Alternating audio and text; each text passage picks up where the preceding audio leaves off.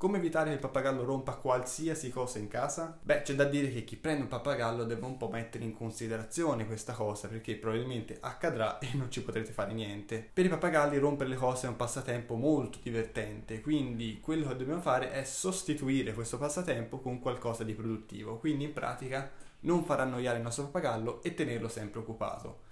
Uno dei modi migliori naturalmente è l'addestramento con l'introduzione di un rinforzo positivo, così il pappagallo troverà più interessante interagire con noi rispetto che andare in giro a rompere le cose. Quindi evitiamo i momenti di noia, evitiamo di lasciare il pappagallo libero ma da solo senza interagirsi perché se no lui troverà un suo passatempo e non sarà sicuramente piacevole per voi. Quindi tanto addestramento e tenete occupati i vostri pappagalli.